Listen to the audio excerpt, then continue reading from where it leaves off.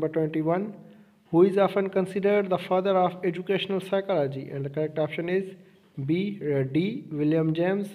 Question number 22. Which theory suggests that individual construct their knowledge through experience and reflection?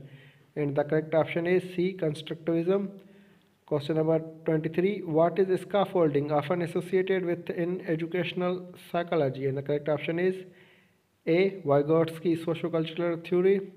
Question number 24. What does the zone of proximal development ZPD signify in educational psychology? And the correct option is B. The difference between a student's actual and potential ability.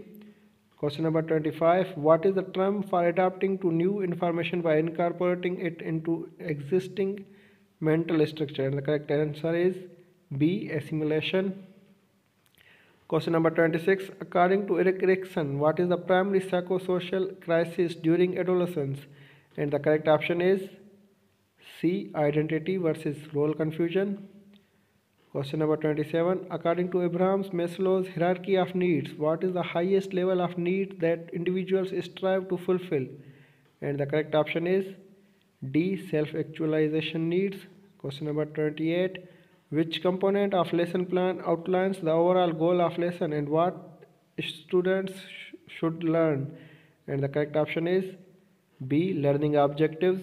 Question number 29. When should you include opportunities for formative assessment in lesson plan? And the correct option is B. Throughout the lesson. Question number 30.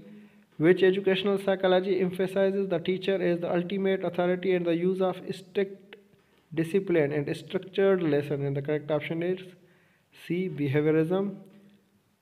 Subscribe Reti Educational Academy YouTube channel and please uh, provide your valuable feedback in the comment box.